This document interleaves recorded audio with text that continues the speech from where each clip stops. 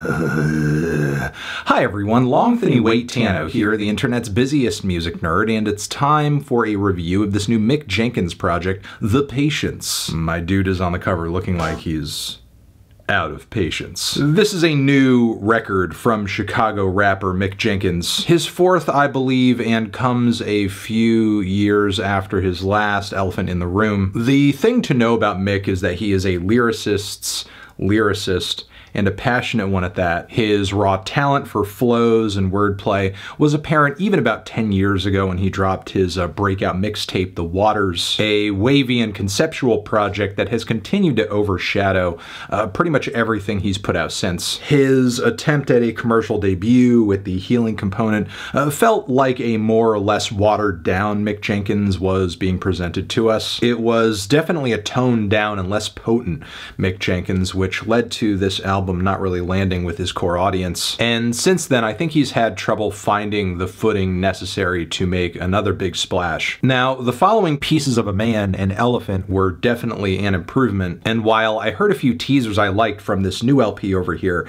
I have been dragging my feet on reviewing it, mostly out of fear that I would be in for another so-so Mick project. But truth be told, The Patience is actually Mick's strongest album in years, which is interesting because it doesn't look like a lot on the surface necessarily with its 11 tracks and bare bones 27 minute runtime, but there's actually been at least a few examples of these very trim but mighty hip hop albums dropping this year, be that Scaring the Hoes or uh, even McKinley Dixon's beloved Paradise Jazz. And I would say The Patience is another example of that. It's also one of those albums whose best qualities are uh, apparent right from the jump, with the opener Michelin star, which proves that after over a decade of releasing music, Mick still has gas in the tank. He still has tricks up his sleeve, specifically as he's tearing through bars about cooking, hunger, plating, sous chefing. It is the jazz rap equivalent to high quality in small portions, like a shishi fufu dish of ratatouille with a,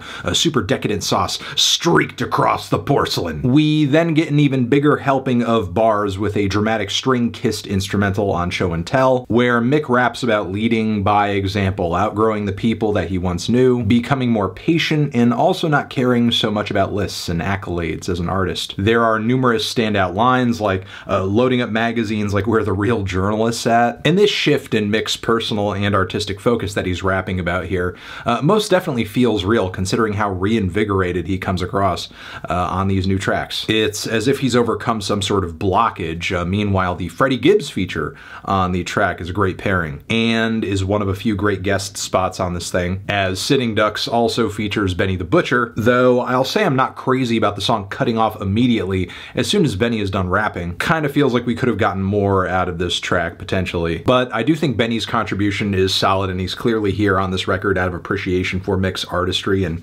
how could he not appreciate it with some of the sharp wordplay right at the start of the track? I'm above can't we apostrophes. Also, this couple of bars where he's making all of these like triangle, triangular references. Mick is really bringing it back to the sort of pen game on these tracks that make you want to like rewind a song. And of course after this we can't forget about JID on Smoke Breakdance, where his and Mick's flows skip across this beat like a stone on an infinite pond of dreamy laid back jazz instrumentation. That ba-da-da-da, ba-da-da-da tight flow contrasts really nicely from uh, how loose the drums and keys feel underneath. Now it's at this midpoint of the record that Mick uh, starts taking things uh, totally on his own, and uh, we start hitting a lull as a result of that. 007 and 2004 both have their pros, especially with the hype delivery Mick brings to the table on the latter of those two, but both tracks overall are a little one-dimensional and short of breath. Could have used a strong chorus or some building out or something. I would also say this is the case to an extent for uh, Roy G. Biv, uh, which is also a little scant, but I feel like that is slightly made up for by the the uh, uh, rapid fire clever bars one after the next uh, with all of these color references, which leads to a lot of great symbolism and metaphors, even a cute couple of Frank Ocean references. Then things really begin to pick up with Pasta, where Mick brings his most over-the-top vocal performance yet. You pray about it, I'm the apex!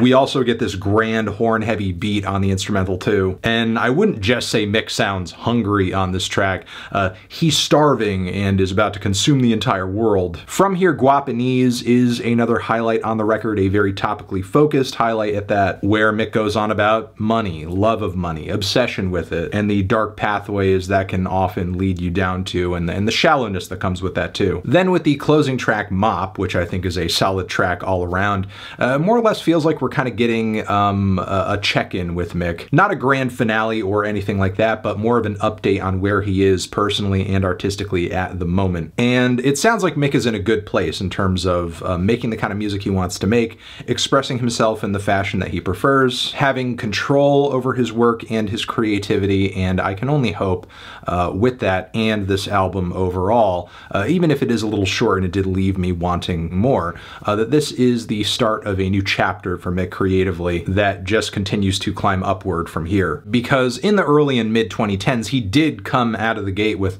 uh, more potential than most, honestly. And for whatever series of reasons, that talent just didn't get fully capitalized on, or at least it didn't manifest in a run of amazing projects. However, it sounds like Mick is still here, he's still fighting, he's still kicking, he's still screaming, he's still writing. And while there are quite a few highlights on this thing, I hope he can kind of extend this momentum and energy out into an even grander album down the road. I'm feeling a strong 7 to a light 8 on this one, Transition. Have you given this album a listen? Did you love it? Did you hate it? What would you rate it? You're the best, you're the best. What should I review next? Hit the like if you like. Please subscribe and please don't cry. Hit the bell as well. Over here next to my head is another video you can check out. Hit that up or the link to subscribe to the channel. Anthony Fantano, Mick Jenkins, uh, forever.